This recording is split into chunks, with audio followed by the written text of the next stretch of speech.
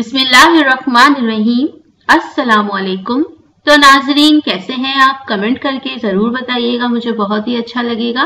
जैसा कि आप सभी को मालूम है कि रमज़ान भी आने वाला है और अक्सर व बेशतर रमज़ान में लोगों का वज़न बढ़ जाता है। हालाँकि देखा जाए तो घटना चाहिए और इसकी वजह यही होती है कि तली हुई अशिया का बाकसरत इस्तेमाल होता है। जो फ्रूट्स वगैरह हम खा लेते हैं, वो हमारे जिसम में विटामिन प्रोटीन्स मिनरल वगैरह की कमी को पूरा कर देते हैं। और बाकी जो तली हुई अशिया हम खाते हैं, वो अपना काम दिखाना शुरू कर देती है और वज़न बढ़ने लगता है। तो क्यों ना आपको एक ऐसी रेमेडी बनाना सिखा दी जाए, जिसको खाने से आपका वज़न बढ़ने के बजाय कम हो जाए। तो जल्दी से मेरे चैनल को सब्सक्राइब कर दें। और अगर आप पहले से ही मेरे सब्सक्राइबर हैं तो दिल से आपकी शुक्रगुजार हूँ। तो सबसे पहले जो चीज़ आपने लेनी है, वो है सूंठ ये आपको हर्बल स्टोर से आसानी से मिल जाएगी। इसे आपने पीस कर पाउडर बना लेना है। हम इसको इकट्ठा बनाकर रखेंगे। इसीलिए आपने इसका एक चम्मच लेना है।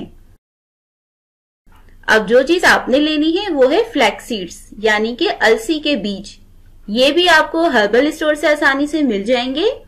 इसको भी आप पीस कर पाउडर बना लेंगे। तकरीबन दो चम्मच आपने ये डालना है। अब जो चीज़ आपने लेनी है, वो है जीरा।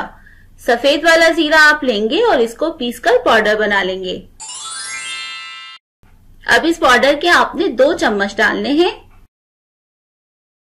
अब जो चीज़ आपने इसमें डालनी है, वो है लेमन पाउडर। ये भी आपको हर्बल स्टोर से मिल जाएगा। तकरीबन एक चम्मच के करीब आप ये डालेंगे। अब इसे अच्छे से मिक्स कर लें और वीडियो अच्छी लग रही है तो लाइक कर दें। अब आपने करना यह है कि दही की पतली लस्सी का एक गिलास लेना है। बिना दूध और बिना चीनी वाली लस्सी आप लेंगे। इसे छाछ भी कहते हैं। इस पाउडर का आपने एक चम्मच खाना है और साथ में ही लस्सी पीनी है। सुबह नाश्ते के बाद आप इसे खाएँगे। और अगर रमज़ान में इस्तेमाल करें तो सहरी के बाद खा लें।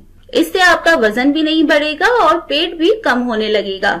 रमज़ान के हिसाब से ये नुस्खा बेस्ट है। आप इसे ज़रूर इस्तेमाल करें और अपना एक्सपीरियंस मेरे साथ ज़रूर शेयर करें। तो दोस्तों, यही अपनी वीडियो का इख्तिताम करती हूँ। उम्मीद करती हूँ आपको वीडियो पसंद आई होगी। अगर अच्छी लगे तो लाइक करें कमेंट करें और शेयर करें। और साथ ही साथ मेरे चैनल को सब्सक्राइब करना तो बिल्कुल भी मत भूलें। चलें, अब इजाज़त दें। इनशाला फिर मिलती हूँ नेक्स्ट वीडियो के साथ। तब तक के लिए अपना बहुत सारा ख्याल रखिएगा, दुआओं में याद रखिएगा। अल्लाह हाफिज।